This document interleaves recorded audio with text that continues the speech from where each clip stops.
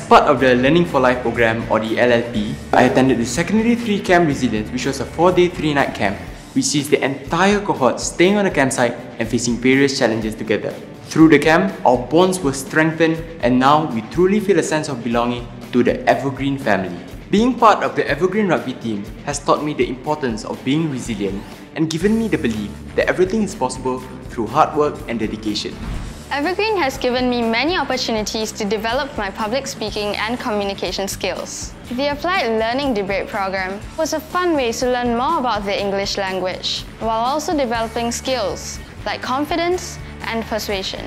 Saya dapat berdarma wisata ke Langkawi, di mana saya meluaskan minda saya dan meraih pengalaman yang berharga dalam bahasa dan budaya Melayu.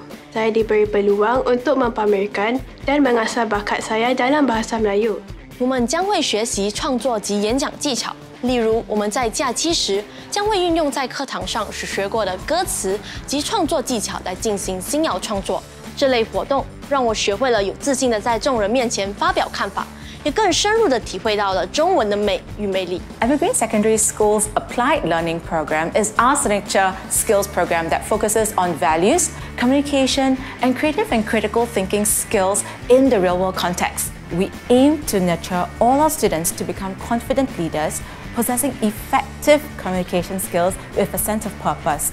We brought in professional trainers to coach the students on the specific skill sets required for their ALP, like how to project their voice and how to be creative and engaging when telling a story.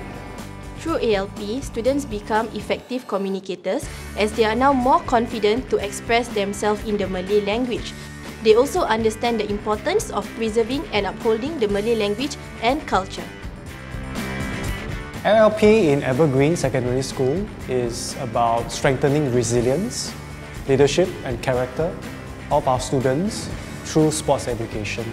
Through LLP, I hope that the students will be stretched in leadership skills all the way from leading themselves to impacting the community